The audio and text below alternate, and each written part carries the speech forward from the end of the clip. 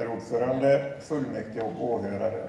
Först ska jag bara eh, referera lite till den eh, debatten som var innan. Frågestunden menar jag. Jag förstod inte riktigt svaret om ekologisk, det ekologiska målet. Om det var bara kravodlad mat som det gällde eller kravodlad och EU-ekologisk.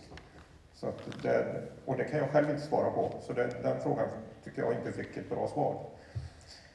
Men nu till detta ärendet då. Och jag vill börja med att tillstyrka kommunstyrelsens förslag att budget och verksamhetsplan för perioden 2018 till 2020 fastställs. Budgeten har ju då kompletterats med strategier för hur förvaltningen planerar att uppnå målen som vi politiker har satt. Alltså, Tony vill att vi ska gödsla med pengarna, men jag tycker det är viktigt att vi är lite försiktiga nu med medlen. Det är viktigt att vi gör resultat så att vi kan betala av de här stora investeringarna som kommer. Och inför framtiden är det bra att vara försiktig. Men eh, regeringen får in mer skattepengar och det är inte konstigt när man har höjt Första året de var i regering, då var det på alliansbudget, så på de senaste två åren så har de lyckats höja Eh, skatten för svenska medborgarna med 66 miljarder. Så det är inte konstigt, det kommer in mycket mer pengar. Och eh, särskilt riktat är det ju mot de grupper som ska lösa de här eh, utmaningarna som Sverige står inför. Nämligen poliser, sjuksköterskor och lärare. Som när de vägrar att höja brytpunkten för statlig skatt som kommer få en kraftig skattehöjning och just de yrkesgrupperna ska som sagt var lösa våra utmaningar. Eh, jag vill att ni tittar på sidan 34. Där kan vi titta lite på budgetavvikelser och där ser vi då hur budgetföljsamheten kan blir bättre för varje år sedan 2012 och är nu riktigt bra. Det finns också en not om eh, referenskostnaden. Där ser vi att vi ligger eh, drygt 10 procent över i äldreomsorgen då, mot jämförbara kommuner. Den siffran var för några år sedan när vi påbörjade ett arbete och komma rätt med detta, den var över 40 procent. Så det, det arbetet har gett frukt. Då står det också om en annan sak där, och det finns en budgetpost som är placeringar som har skenat iväg. Och eh, det ser man inte procentsatsen, men jag vet att det värdet är alltså mer än 13 miljoner över jämförbara kommuner lägger vi på placeringar. Och, och det är oacceptabelt att vi har så. Och förvaltningen skriver också i verksamhetsplanen att detta kommer man fokusera på under 2018. Och jag har lyft detta vid flera tillfällen och så även på kommunstyrelsen senast att, vi, att jag vill ha en, en redovisning per kvartal på detta och se. För det här måste vi börja jobba. Tack så mycket.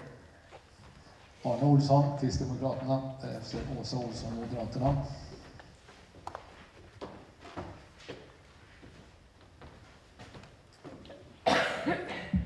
Herr ordförande, eh, det är mycket som är sagt här. Jag ska inte förlänga diskussionen i onödan här, men jag vill ändå börja med att säga att jag vill verkligen eh, hålla med Leif Gunnarsson i din analys av det ekonomiska läget och våra förutsättningar framåt. Att det är så viktigt att vara vaksamma och försiktiga här med de åtaganden som vi har tagit och eh, har framför oss.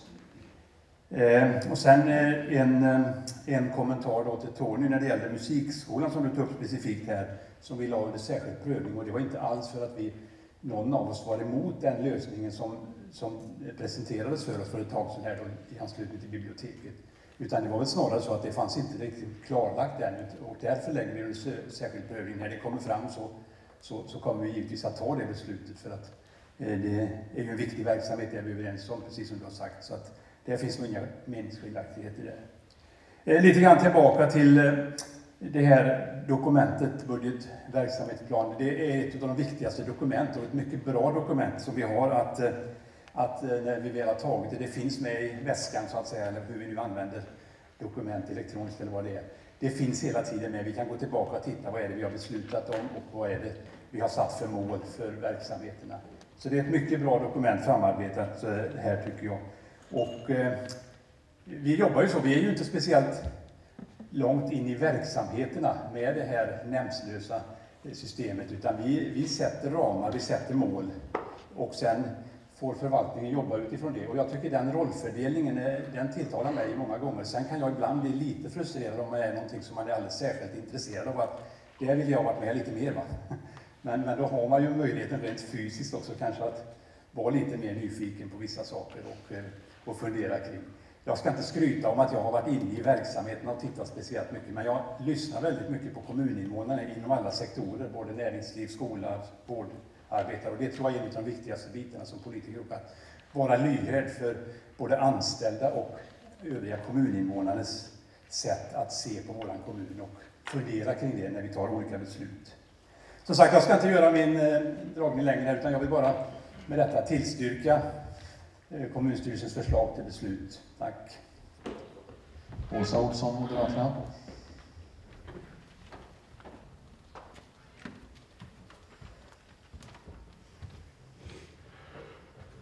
Ja, fullmäktige, ordförande och åhörare. Jag vill bara förstärka en av skrivelserna, eller ett avsnitt i verksamhetsplanen som handlar om skolan. Eh, där man nämner om avgångsklasserna och att eh, man ser att man har förstärkt, resultatet har blivit bättre men att man kan befara, eh, särskilt året framåt, att resultatet inte eh, blir lika bra. Och eh, detta är ju någonting som man arbetar med, inte bara i avgångsklasserna utan vår förvaltning jobbar ju strategiskt genom åren som våra barn tillbringar i skolorna. Och jag skulle vilja säga att man har förstärkt det arbetet i förvaltningen där man har lagt en, en större tyngd och, eh, och man har aktualiserat till exempel elevhälsan. Där man samlar, samlar eh, viktiga funktioner som finns runt barnen som är nyckelfunktioner för att eh, dessa ska eh, kunna lyckas i skolan. Eh, och eh, vi har ju antagit i politiken en strategi för ökad måluppfyllelse i skolan och förvaltningen tar kontinuerligt fram nya planer varje år som Eh, där man sätter fokus på aktuella frågor. Så jag skulle vilja säga att man arbetar mer strategiskt på längre sikt i skolan, för man ser ju så självklart att ehm, de årskurser som har sämre resultat, till exempel i sexan, det följer med till nian. Eh, så att det är ett viktigt arbete.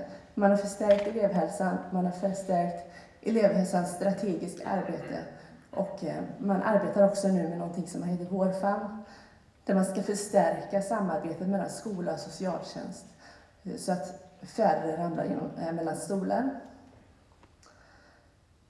Sen vill jag även, eh, och det är väl lite på sidan, men Tony tog upp frågan angående försörjning av eh, platser inom barnomsorgen.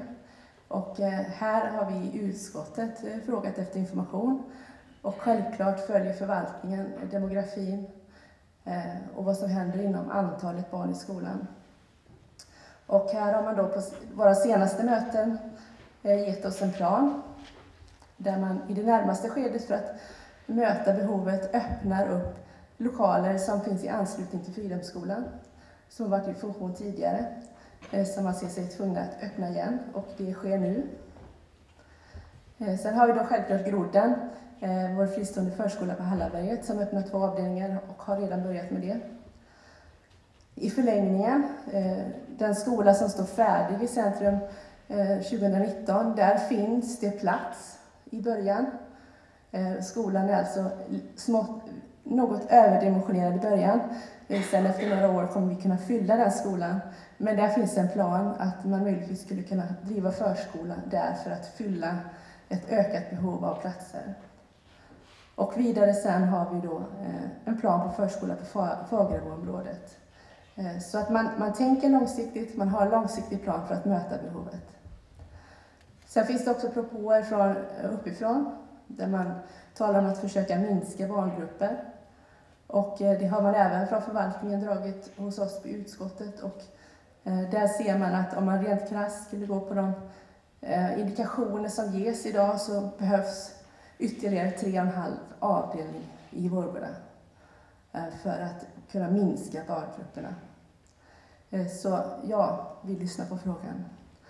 Och jag tillstyrker eh, för, eh, kommunstyrelsens förslag. Då är talarlistan tom.